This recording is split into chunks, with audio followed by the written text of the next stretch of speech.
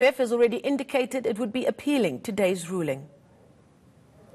We will be taking this judgment uh, together with the judgment uh, of Potrelli on appeal because, as you know, um, the, the two judgments are literally uh, going against the tide of an established principle by the Constitutional Court that the remedial action of the public protector are no mere remedial action and they are binding until set aside by a court of law. And a mere application for review does not set them aside. You can only set them aside through an urgent interdict on exceptional circumstances. You and I were in this court today as the judge was struggling to read her own judgment.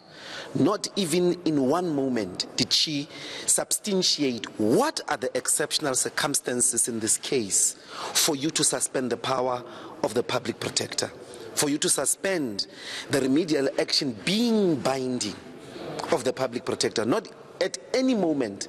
The only thing she said is that the principle uh, that I'm using is the same principle established in the judgment by Potterill. And if you go there again, there is no extrapolation as to what are the circumstances that create Gordhan as an exceptional case uh, upon whom the entire powers of the public protector or the office of the public protector must be suspended in as far as they have to do with the fact that her remedial action are binding and an application a mere application for review does not set them aside